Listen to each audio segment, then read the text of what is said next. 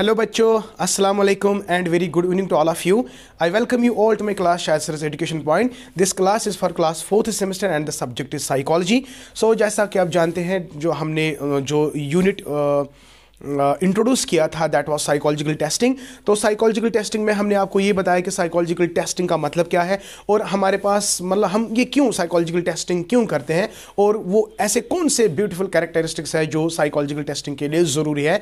उसमें हमने सबसे ज़्यादा ज़ोर दिया था it must be objective it must be you know systematic it must be reliable it must be valid and standardised ये सारे चार पाँच पॉइंट्स मैंने आपको बताए थे, लेकिन आपके सिलेबस में कुछ डिटेल सा पढ़ना है कि what is reliability and what are the different types of reliability reliability पे एक टॉपिक पढ़ना है, उसके बाद आपको वैलिडिटी अलग से पढ़ने हैं। वैलिडिटी का मतलब क्या है? वहाँ पे डिफरेंट टाइप्स ऑफ़ वैलिडिटी पढ़ने हैं। And after that you have to construct a test how what are the different types of tools and techniques that are actually use for constructing a psychological test right तो आज हमारा जो topic है, बिल्कुल छोटा सा टॉपिक है। Very important it will just five to ten minutes and after that हमारे पास और एक टॉपिक है दैट इज़ वैलिडिटी तो इंशाल्लाह वो कल देखेंगे। तो आज का हमारा जो वीडियो है, बिल्कुल शॉर्ट होने वाला है इसलिए I request all of you please and please don't skip this video and try to make notes जो भी हम यहाँ पे लिखेंगे, उनको आपने नोट्स बनाने हैं। तो चलते बेटा स्टार्ट करते हैं। तो जब हम टाइप्स ऑफ़ रिलायबिलिटी की बात करते हैं, हमने आपको कहा है कि टेस्ट कब वैलिड है और टेस्ट कब रिलायबल है। टेस्ट रिलायबल तब है जब आप बार बार इसको एडमिनिस्टर करोगे किसी के ऊपर और बार बार आपका स्कोर कंसिस्टेंटली और एक्यूरेट आ रहा है। तो दो चीज़ों का ख्याल रखना है मेरा बेटा। जब भी हम बात करेंगे रिलायबिलिटी की तो one must remember it is consistency and accuracy right my dear तो अगर ये याद नहीं रहा तो फिर क्या याद रहेगा आपको? ये तो बिल्कुल सिंपल है। सिंपल इज़ सर रिलायबिलिटी का मतलब क्या है? सर कंसिस्टेंसी एंड एक्यूरेसी और एक टर्म है रिलायबिलिटी के related that is coefficient of reliability अगर रिलायबिलिटी है, अगर कोई टेस्ट कंसिस्टेंट है, अगर मैं दूसरा चीज़ कहूँगा कितना कंसिस्टेंट है? The extent the extent of consistency अगर कोई एक्यूरेट है तो कितना एक्यूरेट है? कम एक्यूरेट है ज़्यादा एक्यूरेट है। तो it is called extent so अगर मुझे मेजर करना है एक्सटेंट ऑफ़ रिलायबिलिटी तो आपको और एक चीज़ जोड़नी है that is coefficient of reliability तो what is coefficient of reliability it is it is extent of reliability. Sometimes it is called stability. So here i will write uh, extent extent of reliability is called coefficient of reliability and usually it is denoted by R और ये R जो है ना it is equal to variance of true score divide by variance of obtained score right please बेटा, ये ये ये याद रखना। कोफिशियंट ऑफ़ रिलायबिलिटी का मतलब है, अगर आपका टेस्ट कंसिस्टेंट है, कितना कंसिस्टेंट है? अगर आपका टेस्ट एक्यूरेट है, कितना एक्यूरेट है? कितना एक्सटेंड तो इसको हम कहेंगे कोफिशिएंट ऑफ़ रिलायबिलिटी और कोफिशिएंट ऑफ़ रिलायबिलिटी किससे डिनोट करते हैं? आर से. और आर को कैसे निकाला जाता है? Variance of true score T S divide by variance of obtained score तो it is the ratio of, right, variance of true score divide by variance of obtained score इतना आपको बेटा याद रखना है। अब चलते हैं बेटा, जल्दी जल्दी से हमारे पास टाइम कम है, क्योंकि मुझे ऑनलाइन का भी देखना है अभी। मैं थोड़ा सा लेट हुआ आज तो लेकिन क्लास तो देनी थी। पाँच मिनट छः मिनट, लेकिन क्लास तो देनी थी। आपको सफ़र नहीं होने देना है। तो जब हम टाइप्स ऑफ़ रिलेबिलिटी की बात करते हैं बेटा, बहुत सारे टाइप्स है। इनफैक्ट चार टाइप्स मैंने यहाँ पे रखे हैं। अगर हम ये दो देखेंगे, ये वाले दो, ये वाले दो right these are external consistency अगर हमें एक्सटर्नल कंसिस्टेंसी देखना है तो हम ये दो इस्तेमाल करेंगे। अगर हमें इंटरनल कंसिस्टेंसी यानी आइटम के अंदर क्या है? आइटम बाहर में क्या दिखता है? तो it is called external consistency और ये दो इट इज़ इंटरनल कंसिस्टेंसी घबराने की ज़रूरत नहीं है टेंशन लेने की ज़रूरत नहीं है। वहाँ क्वेश्चन आता है test retest is a it is external consistency test split half method is a it is an internal consistency test समझ आए इतना तो भाई काफ़ी याद है आपका ऑब्जेक्टिव टाइप है आपको वहाँ पे थोड़ी ना डिटेल में लिखना है भाई स्प्लिट हाफ़ मेथड यहाँ का नो आपको सिंपली याद रखना है test retest method external consistency split half method internal consistency तो आपको क्या याद रखना है इस वक्त कि टाइप्स ऑफ़ रिलायबिलिटी देखो, हमारे पास एक टेस्ट है टेस्ट रिटेस्ट अब आपको ये इजीली समझ आएगा।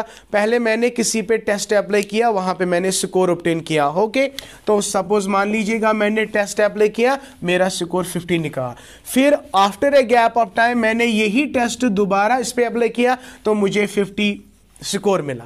तो मैंने टेस्ट किया तो ये वाला मैंने रिटेस्ट किया। फिर जाके मैंने इन दो को कोरिलेट किया कोरिलेशन तो इसको कहते हैं टेस्ट रिटेस्ट रिलायबिलिटी समझ आया? है ना सिंपल? वेरी गुड आप जाके अल्टरनेट पैरल फॉर्म भी it is improvement over alternate test improvement over alternate test ये हम कभी डिटेल में पढ़ेंगे, लेकिन जो यहाँ पे थोड़ा बहुत फॉर एग्ज़ाम्पल लू फॉलोज रहेंगे। जब आप इस पे अप्लाई करते थे, उस उस वक्त जो पेशेंट था या स्टूडेंट था, उसका मूड कैसा था? तो आपने टेस्ट करके आपका स्कोर निकला, निकाला। लेकिन अब ये ज़रूरी नहीं है, जो मूड अब यहाँ पे बच्चे का है, जिस पे आप अप्लाई करोगे, वो सेम थोड़ी ना रहेगा। वो थोड़ा ही ना सेम रहेगा। सपोज़ माय डियर अगर पाँच छह बच्चे यहाँ पे थे, मैंने पाँच छह बच्चों पे टेस्ट अप्लाई किया, उस वक्त कुछ मीन था बच्चों का। कुछ मीन था स्कोर था। लेकिन अब ये ज़रूरी नहीं अगर यहाँ पे दस मीन था तो वो सारे बच्चे दूसरे एक्वेजन पे आएँगे, दूसरे एक्वेजन पे आपको कम ही बच्चे मिलेंगे। तो है ना ये गड़बड़ थोड़ा सा लग रहा है यहाँ पे? तो इस गड़बड़ को दूर करने के लिए और एक अल्टरनेटिव पैरल फार्म में टेस्ट रखा गया जिसका नाम है अल्टरनेट पैरल फार्म ये कभी हम डिस्कस करेंगे डिटेल में बेटा, लेकिन ये इस वक्त आपको खाली याद रखना है कि एक्सटर्नल कंसिस्टेंसी में हम दो का इस्तेमाल करते हैं test retest and alternate parallel form okay now coming to the third one one that is split हा से बेटा, मैंने आपको कल ही कहा था, किसी भी टेस्ट को अप्लाई करने के लिए आपके पास नंबर ऑफ़ आइटम्स का पता होना बहुत ज़रूरी है। सपोज़ मान लीजिए कि हमारे पास एक टेस्ट है, इसमें नंबर ऑफ़ आइटम्स 50 है। तो a test has a test is one but इसमें जो नंबर ऑफ़ आइटम्स है ना, वो कितने हैं बेटा? फिफ्टी आपने कभी देखा होगा कि क्वेश्चन हम बनाते हैं क्वेश्चन एक टेस्ट होता है तो इसमें नंबर ऑफ़ क्वेश्चन होते हैं। फॉर एग्ज़ाम्पल फिफ्टी है थर्टी है फोर्टी है। तो वो नंबर ऑफ़ क्वेश्चन जो है, वो बेसिकली होते हैं नंबर ऑफ़ आइटम्स राइट तो ये टेस्ट में बेटा आप टेस्ट अप्लाई करते हो, आपने टेस्ट बनाया। उस टेस्ट में बनाने के लिए आपने बेटा आपके पास कितने आइटम्स आपने रखे? 50 आइटम्स। तो हो गया टेस्ट। अब आप क्या करते हो, इस नंबर आइटम की जो आइटम्स है ना 50 50 आइटम्स, उनको आप ना ब्रेक करते हो। You you just split it into half आपने 25 25 या आपने ऑड इवन किया ऑड को अलग निकाला इवन को अलग निकाला। अब एक ओकेजन पे आपने ये वाले 25 एडमिनिस्टर किए, आपने स्कोर ऑप्टेन किया। और दूसरे ओकेजन पे आपने ये वाले एडमिनिस्टर किए, आपने स्कोर अपने किया। फिर आपने उनमें कोरिलेशन दिखाई। अगर कोरिलेशन में स्कोर मतलब टाई हुआ कोरिलेशन का वैल्यू अच्छा निकला तो हम कहेंगे इट इज़ कंसिस्टेंट एक्यूरेट अगर नहीं तो हम इसको रिजेक्ट करेंगे। भाई, ये कंसिस्टेंट और एक्यूरेट नहीं है। तो इसका क्या मतलब है? सुप्लिट हाफ़ मेथड में हम नंबर ऑफ़ आइटम्स को सुप्लिट करते हैं। अगर ये ऑड इवन है तो ऑड इवन सीरीज़ में इसको कन्वर्ट करते हैं। तो यहाँ पे हम टेस्ट तो that is why it is called internal consistency तो रैशनल इक्वेलेंस मेथड जो है we make use of formula तो ये फार्मूला भाई आपको याद रखनी है, इसमें मैं कुछ नहीं कर सकता।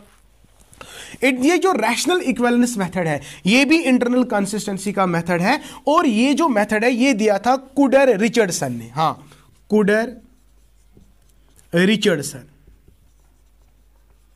इसलिए इसको के आर के आर का कहा जाता है।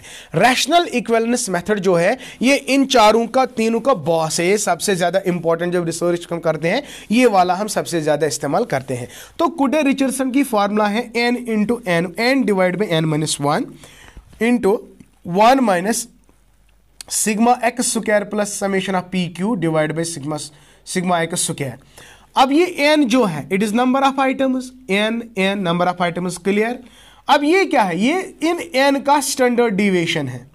ये variance of test standard deviation where कितना डिवेट हुआ है नॉर्मल स्कोर से। और पी का मतलब क्या है? आपने राइट रेस्पॉन्स कितना दिया और रॉन्ग रेस्पॉन्स सपोज़ आपके क्वेश्चन ईयर में 50 क्वेश्चन है। तो 50 क्वेश्चन में रेस्पॉन्डेंट ने कितने क्वेश्चन को सही आंसर बताया? तो इसको आप डिनोट करोगे पी से राइट रेस्पॉन्स और कितने ऑप्शन जो वहाँ पे कितने क्वेश्चन को रॉन्ग अटेम्प्ट किया? तो it is Q are you getting my point तो आपने कोई क्राइटेरिया रखा होगा कि अगर इसमें वो फॉल होगा तो मेरा टेस्ट ठीक है? और उसमें से कितना डिवेट होता है? दैट इज़ कितने वेरी होते हैं?